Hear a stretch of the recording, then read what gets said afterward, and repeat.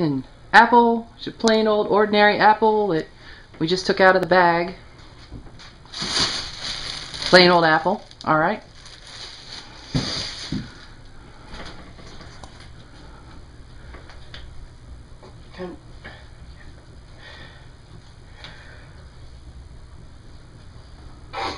Let me try this again.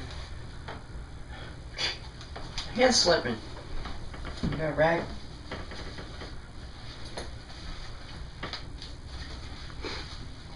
There's I can block it. I just kind of grabbed it. And, Um, I don't. I mean, there's not really any way to do it. You just have to grab.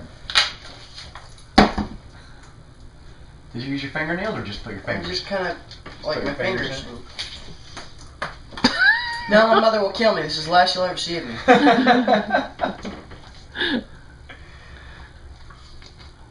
and that's a 14-year-old boy crushing an apple, a raw apple.